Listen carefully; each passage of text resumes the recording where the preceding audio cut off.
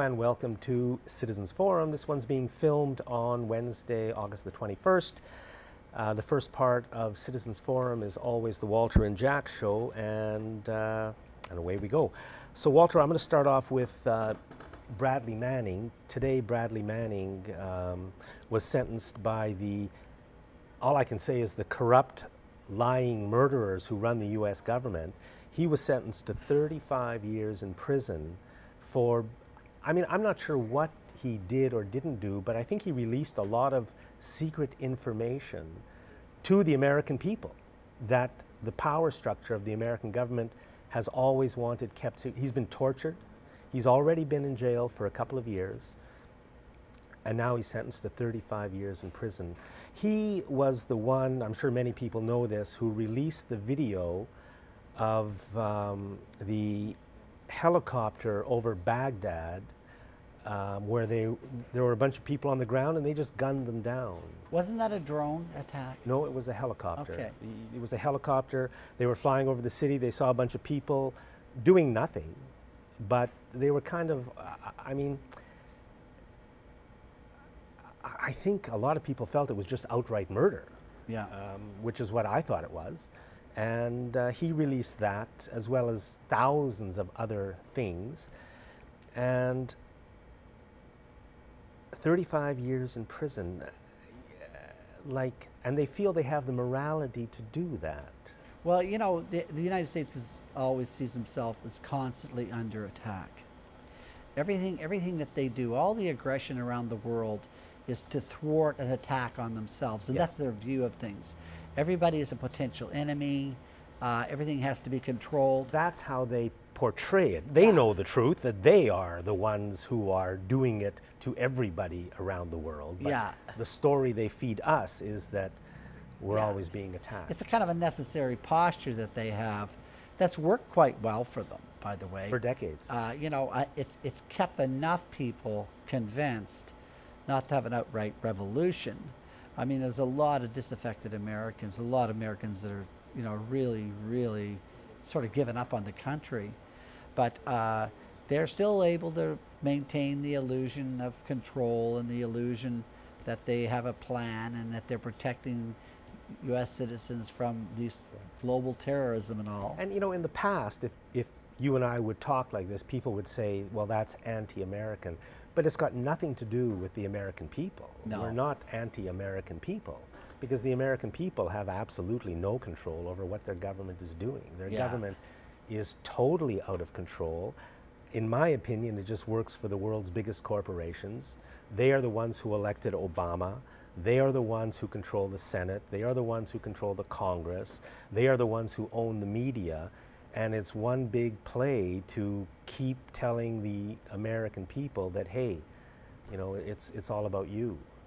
Yeah, I, you know, I think this is a trend that we're going to see in the future. I think uh, more and more people will will step forward with information pertaining to. I guess that's why Manning got 35 years. They're trying to thwart that from happening. Quite obvious that they're very vulnerable in that area, but you know, in the end, as long as the mainstream media can portray events like this and it's not really they don't really condemn the United States for doing it, of CBC and such who should really be coming into the defense of, of people like this who are really uh, the modern day heroes and the, the, bravest people to take on these these uh, entities. And when we have, for instance, I mean, I, am often hard on different people and different outlet news outlets, but the CBC, you do hold up slightly above the others, and you think, well, they don't have quite the same amount of pressures on them, and often they are fair, but on incidents like this in international affairs, the CBC just parrots the uh, the corporate view of, of the events and never and, and reports them as fact, and it's a it's just pure propaganda. Yeah, I'll just read what was on CBC.ca. Uh, it, it, it, it talked about Manning being uh, put in prison. It said he leaked video of a 2007 helicopter attack in Baghdad that mistakenly killed at least nine people. Well, if you watch the video, you know, you really, you know it's not a mistake. If you, if you listen to the audio, from what I remember, they're saying, we're not sure what, who these people are, what they're doing, and their controller's saying, yeah, go ahead, shoot. So it's not a mistake.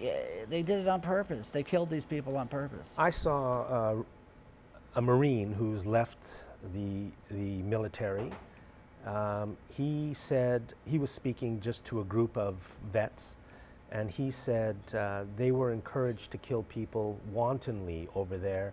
And he said in his platoon or his group, um, the commanding officer said that the first soldier who kills somebody not with a gun but kills them with a knife, goes out and kills somebody with a knife, will get a three day pass. I mean, this is the kind of insanity that the U.S. military and the U.S. government is putting out. Just the last thing on that issue, there was a story in the Times Colonist today, Wednesday, not on the front page, but on the back page uh, of the first section a tremendously important story. It should be front page news everywhere in Canada and the United States. It said CIA's role in Iran coup detailed. And this is like finally the official admission that in 1953, the CIA and I believe British forces as well went in and overthrew the democratically elected president or prime minister of Iran because he wanted to take Iranian oil and use it for the benefit of the Iranian people. So he was overthrown, kicked out of the country, and the United States put the Shah of Iran, they put essentially a king in, in place of a democratically elected leader. And they've been doing the same thing ever since and before. So let's just face the facts. This is what the United States really is, not the United States people. They're lied to all the time about everything but the corporations and politicians who run the country. And of course, uh, Ayatollah Khomeini took over in 1979 and all that. And, you know, he waited for three years in Paris for his chance to go back to Iran. And you really have to wonder what kind of revolution was that really, particularly when the Iranian people really, really were crying out for a, a secular government and for a, a modern government. And uh, you know, the United States wouldn't allow that to happen. They were quite happy to install the Ayatollah in there and call that a revolution of sorts. The next enemy. You wanted to talk a little bit about a more local issue. Well, uh, we're back on the uh, Powerex BC Hydro story. Okay, Powerex. Uh, well, Powerex is a um, is the export wing of BC Hydro. They're the folks that sell power to to uh, Americans and such. And uh, they were involved in, a, in really a, a, scam back about 10 years ago in which they collaborated with Enron and other power suppliers to manipulate the markets to create fake shortages to inflate the prices sometimes by hundreds and hundreds of times and then sell that power to the unfortunate customers. In this case it was the state of california which you know is just almost as big as Canada for uh, the people of California just got and uh, the government of California sued these these companies. They were found guilty in court, by the way. If you read the verdict, you read the case, it's a blatant, blatant manipulation of the markets. It's nothing to do with uh, that uh, the deregulation of energy allowed this environment and therefore it was fair. No, this is corrupt business practice. This is predatorial. It was uh, found they were found guilty. Powerex is guilty in court. Uh, but the strange thing about all that is, is uh, we have John Horgan, uh, the NDP energy critic, stepping up and saying, "Oh, we shouldn't be paying that back because we didn't do anything wrong." And that's what's so troubling is uh, who's kidding who here? Who's telling John Horgan to say that line? I don't believe he could believe that if he actually looked into this. It's a blatant, it was a blatant crime. They were gouging the Californians, and they finally, the California government finally got them back. So it's very troubling, A, that that happened. By the way, they're still at it. Powerex is still around, still doing lots of stuff. And you have what would be, what you'd think would be the critic would come forward and say something that's truthful about it. And it, it just isn't happening. And this is another indication. Uh, all we have is this NDP liberal coalition government running the show right now. The corporations have free run here in British Columbia now with the setup that they have. Yeah, I, I like that comment that it's uh, an ND or a liberal NDP coalition government Yeah. because it seems to be that on on all the important issues. Uh, they seem to agree, and all the important issues are whatever corporate British Columbia wants. Well, you know, Powerex, of course, the history of Powerex is that, uh, and the and their their relationship with Enron. It isn't just like a one-off little incident here. You know, Enron soon after all this happened, split apart. One half of the company or part of the company became uh, a co- company by the name of um, of Accenture. Oh no, you're thinking of Arthur Andersen, the accountants that. That's right. that- Oh yeah, but uh, sorry, yeah, the brain, the brains behind the Enron scam Right. was Arthur Andersen. Sorry about that. And of course, that company split up when this started all happening. Part of that company uh, became Accenture, which is basically a, a massive public relations firm. And they came to British Columbia and took over BC Hydro. Now, when you say took over BC Hydro, so Accenture, which was Yeah. an offshoot of Arthur Andersen, and Arthur Andersen worked with Enron, I guess, like this. Um, so when you say Accenture came to British Columbia and took over BC Hydro, what does that mean? Well, the Liberal government, about 10 years ago or so, uh, allowed uh, to the, the company basically to be split apart. And about a third of the company, which is the administration wing of the company, uh, the, a contract was given out to Accenture to run that part of the company. But basically, when you're like if you're if, if you're running that, you're running the brains of the company. You're setting all the directions. You're making all the policy decisions. You're basically running the corporation. And uh, basically, what Accenture is is a public relations firm. Now they hire another 150 public relations firms to handle their their business. Now they're also supplying information to the the British Columbia government, who also have around 150 public relations firms, and the NDP with their own brand of public relations. So what are we hearing in the news about Powerex? This is why you hear the sort of nonsense that John. Well, I don't know what we're about. hearing about Powerex, but BC Hydro itself has allowed itself and us, because we are essentially Yeah. the owners and the ratepayers of BC Hydro, we are on the hook for about $50 billion in long term purchase contracts with private power producers all over the province that are getting energy, electricity from That's right. destroying our rivers. And we've signed, BC Hydro has signed contracts with them worth about $50 billion, um, which we can't get out of. And we can't sell, we can't sell the electricity at anywhere near the price we're buying it at. So Hydro is sort of circling the drain. They may be planning to bankrupt it. And uh, we are on the hook for billions of dollars. Yeah, that's all the same crowd, Jack. The, you know, the California government didn't put up with it. They, they took uh, Powerex to court and won. And we have to face that as British Columbians. We should look at our what these fellows are doing. Their business practices are predatorial, you know, and in my view, they're corrupt. They're not fair. That doesn't represent the values of British Columbia uh, and and all the issues around how how BC Hydro is being operated also simply doesn't represent the values of of, of, uh, of the citizens of this country. So the next thing I wanted to talk about was this question Are the corporations trying to destroy our economy, our society, and our planet? And I mean, I think the corporations run the government of BC. We've just been talking about BC Hydro. Yeah. We can see now that BC Hydro and our entire economy is not being run for the benefit of the people of Canada or the people of British Columbia. We're not even in the picture. It's being run for the benefit of the one tenth of 1% Yeah. who, who run the country and run the world. In terms of our, of our society, um, we're seeing that same attack by the people who run the country. And again, it's not us, it should be us. We citizens should set the directions, but we don't.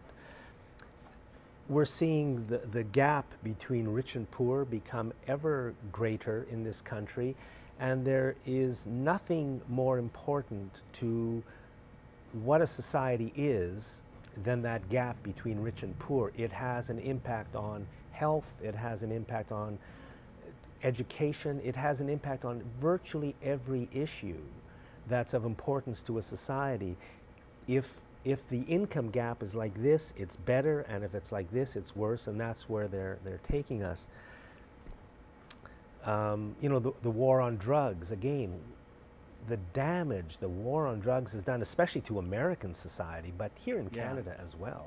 We're funding huge drug gangs. There's ongoing murders in Vancouver because of it. You know, it- entire nations are being destabilized.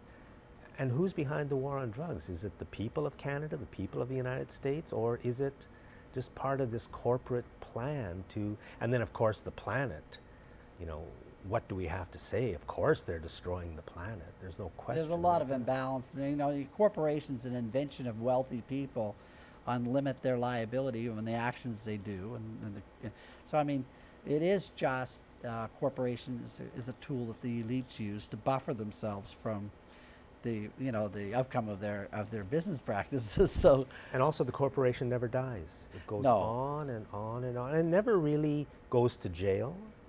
You know, No. no matter what it does, including, you know, murder, uh, poisoning, destruction, fraud. It never goes to jail. It never. It just like maybe on. defrauding the California government for seven hundred and fifty million dollars, which they have to pay back. Or the That's Ford- corporation. or the Ford Pinto, where a decision was Yeah. made uh, to allow people to burn to death in automobile accidents because that was cheaper than fixing the car. This is going back 20 years. Yeah. Yeah, I mean, so, you know, those are the kinds of things that we citizens have got to deal with. We've got to retake control of our country, and uh, the only way I can see of doing that is, uh, is pushing for more democracy and pushing to create a media that will tell us the truth about what's going on. We have to know what's going on. You know, I had a, I was just talking to a friend the the other day, and you know, was uh, still talking about the election, of course, and they had voted a certain way uh, in the booth. They had voted for the NDP, and the fellow said, as soon as I checked checked the NDP candidate's name, I felt remorse. and then we were laughing, and he said, and we came up with a term. It's the post-vote uh, traumatic distress. Tra- uh, what do you call that? Traumatic distress disorder Yeah. like people a lot of people voted for the ndp just because they thought they have to be better than liberals but they knew in their heart it wasn't true and that was right and a lot of people stayed away from the polls. I think did so because they knew the game that this, this party does, did not represent anything substantially different Yeah. So, I I mean, retaking control of the political parties, or at least making sure the political parties operate fairly, honestly, and democratically, yeah is is very important. Um, Well, there's a lot of good people around in, in these Yes. parties, and they have a lot of great values. They just shouldn't let, they shouldn't be cowed by the elites in the parties that the, and these spin doctors and these gurus and wizards that come up with all these brilliant strategies and why they have to do one thing or the other, and basically not tell the truth is what they're telling you. They have to spin everything. That we just have to get rid of that crowd. We should be playing this much straighter. The public should know these issues more clearly, and their own political parties should be telling them the truth about these issues. I think a great idea would be a citizens' assembly on political parties. Bring Yeah. together a group of citizens, maybe 50 to 100 citizens from around the province. Give them a budget, give them some time, give them, give them uh, the ability to hear experts speaking from Right. all. Let them have a way of conversing with the general public. Take a look at the political parties and, and tell us Yeah. how can we make the parties work for us? Yeah. Because if we could do that one thing, even if we learned about what we can do, even if we don't do it, just so we know. Oh yeah, and the grassroots has to get active again. They have to start standing up and not relying on these so-called experts. And we've got to focus our energies on, I think, not the issues, Yeah. but getting control of our country, getting political control of our country back into our hands Yeah. so that the decisions reflect what we want. yeah. If that happens, I think we will start going in better directions from A to Z. Oh, I agree. Uh, Oh, there, there was uh, there was a good show on CFAX radio today, uh, CFAX uh, 1070 AM. Um, Ian Jessop from 1 o'clock to 3 o'clock. He's on, I think, from Monday to Friday. The rest of the station makes me very leery, but that show, I mean, he's the one guy in the corporate media anywhere who stands up and says, you know, fracking is terrible, it's a disgrace. Yeah. That kind of thing. I mean, you just don't hear that anywhere. And on many other issues as well. He's well, good. good for him. I mean, fracking is like the whole liquefied natural gas plan and how it's going to save BC economy is based upon fracking, which is an environmental catastrophe. So you're, you know, how you're getting the, the gas out of the ground is already um, unbelievably damaging. And then it, when it gets on top of the ground, you're shipping it, and then the whole economics behind it.